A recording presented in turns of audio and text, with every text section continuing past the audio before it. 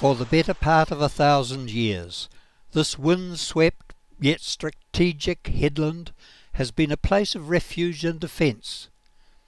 The struggles and exploits of warriors long ago are now but memories, their power, their palisades, long replaced by later waves of building and rebuilding. Even the massive 19th and 20th century coast artillery defences are abandoned and disintegrating. But one thing remains preserved, restored, and standing as an impressive reminder of what once was. In the 1870s and 80s, the Pacific Ocean colonies of Britain felt threatened by the hostilities that had broken out between Great Britain and Russia. During 1886, a Russian warship, the Vestnik, visited the port of Wellington.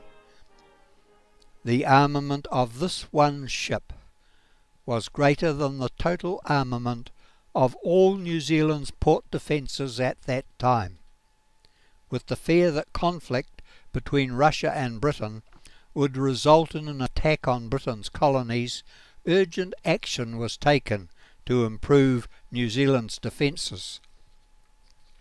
Foremost among the new armaments were Armstrong disappearing guns that were provided for each of the main ports. The headland of Pukekura, or Taiaroa Head as it became known, guarded what was at that time New Zealand's largest and most prosperous city.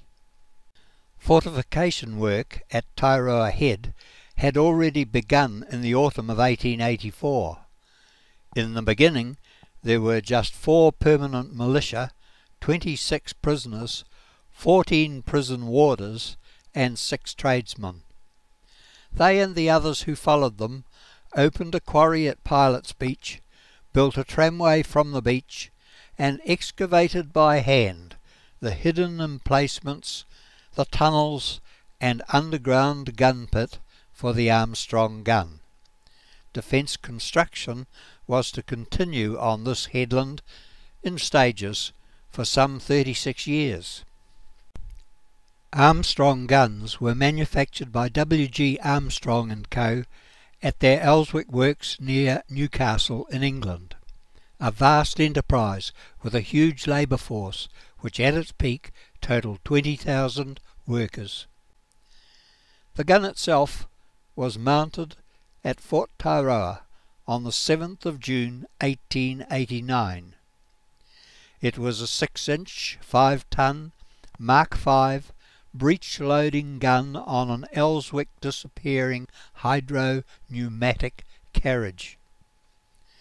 The great merit of this heavy coastal defence gun was that it was loaded and aimed in an underground gun pit.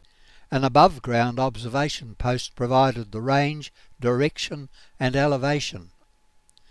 Loaded and aimed, it rose above the ground, the lanyard was pulled, and it was capable of firing a 100 pound shell at a rate of one shell per minute, with a range of 8,000 yards, which is approximately 7 kilometres. And when fired, the recoil instantly retracted the gun back down into the pit for reloading. In the years following 1886, this gun at Fort Taiaroa fired some 488 rounds, but none of them at an enemy target. Came the year 1914, and the British Empire, indeed the whole world, was again at war.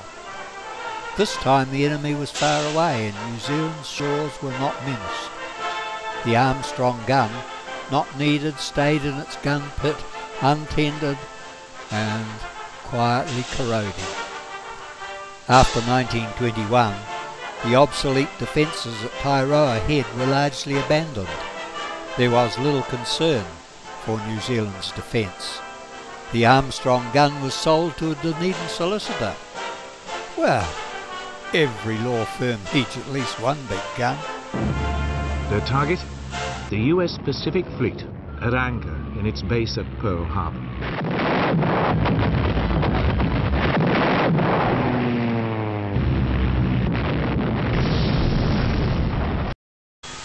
When Japan entered World War II, Fort Taiaroa was again manned and became a hive of activity.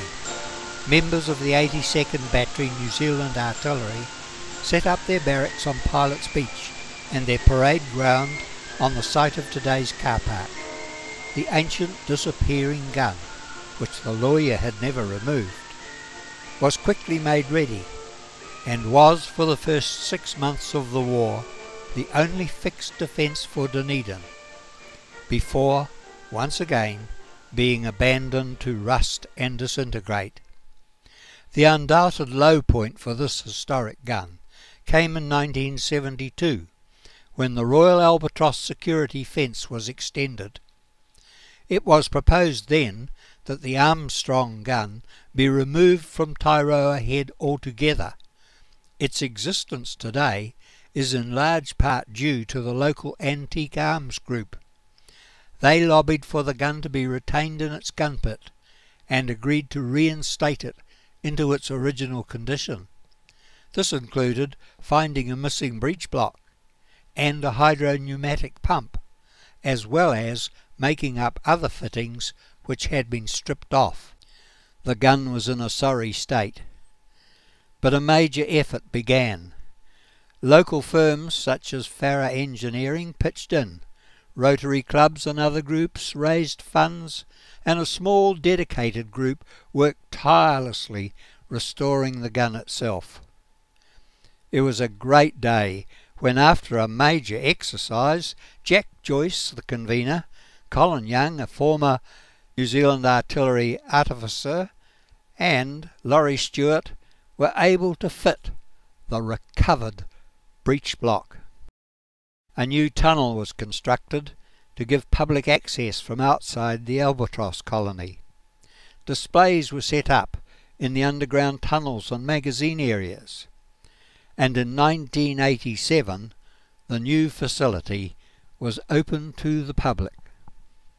Today, the Armstrong gun at Fort Taiaroa is fully refurbished.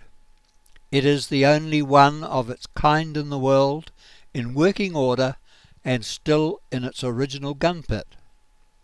Its manufacture, installation, and finally its restoration demonstrated each in their turn impressive examples of quality engineering.